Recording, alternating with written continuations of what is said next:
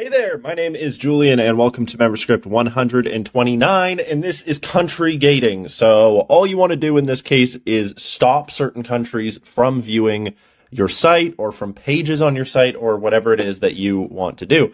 So first things first, let me show you how this works. So here we are on this page. Fine. If we refresh, all is good. And then let's go ahead and get our VPN and set it to Poland because I banned everyone in Poland from viewing this page for some reason. Sorry, Polish people. I chose you. So anyways, now I'm going to refresh, and as we're going to see, it is going to redirect me to this page that I made to say, oops, looks like you're in Poland. And anyways, so yeah, Poland, and I'm sorry as well for how I'm going to try to say sorry in Polish. Przepraszam. All right, let me know how that was if there's any Polish people watching this. Um, so, anyways, that's it. Now, if we try to go back, oh, it's just going to close that. Let's try to open this page, and it's going to redirect us to this Poland page. So, anyways, let's go ahead and turn off our VPN. And something I want to mention about this is this is client-side gating. This is not secure. This is not something that you should do in order to, let's say, prevent any legal issues if people in a certain country aren't allowed to view it.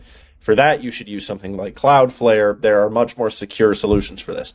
This is just the easiest way to get to this point. And if you're someone who, let's say, has a site like an e-commerce site and you do not ship to a certain country, then you don't need it to be secure. You just want to redirect someone and say, hey, sorry, you know, this isn't for you. Uh, so if that's your situation, then this script is going to work. So all you need to do is get the script for MemberScript 129. I have it here in my site-wide code. And this one doesn't have any attributes, but you are going to need to change the script. So uh, first things first, your access denied page, go ahead and enter the slug here. In this case, it's just access dash denied. And then for the list of disallowed countries, you're using ISO 3166-1 alpha 2 country codes. Sounds pretty funky, right? just go ahead, copy ISO blah, blah, blah country codes.